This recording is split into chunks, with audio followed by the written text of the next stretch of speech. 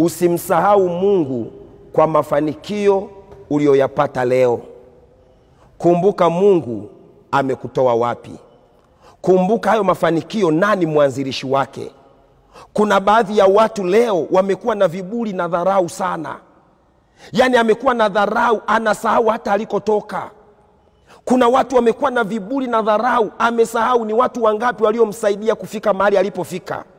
Kuna watu leo wamekuwa na viburi na dharau, wanasahau ni watu wangapi ambao wamemshika mkono. Rafiki yangu, usiwe na kiburi kwa mafanikio ya leo. Kumbuka ulikotoka, kumbuka watu waliokushika mkono, kumbuka watu waliokusaidia, kumbuka watu ambao wamekufanya ufike mali ulipokuwa. Acha dharau, acha dharau, acha kujiona umefika. Dunia hii inazunguka mpendwa, hicho cheo iko siku kitaondoka.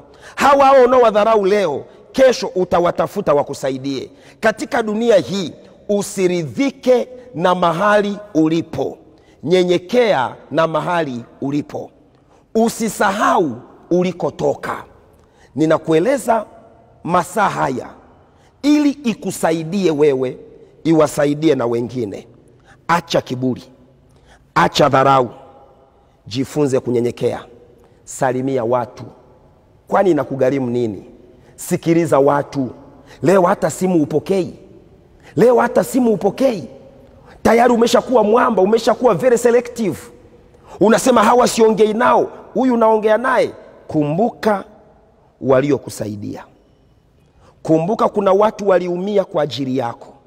Kumbuka kuna watu leo ni walemavu kwa ajili ya cheo ulicho nacho. Kumbuka kuna watu walilala njaa ili wewe ufikie kwenye elimu ulionayo.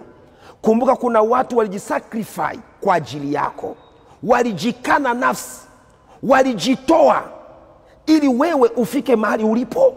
Acha dharau, acha kiburi, acha kujikweza, acha kujiona umefika. Maisha haya yana kesho.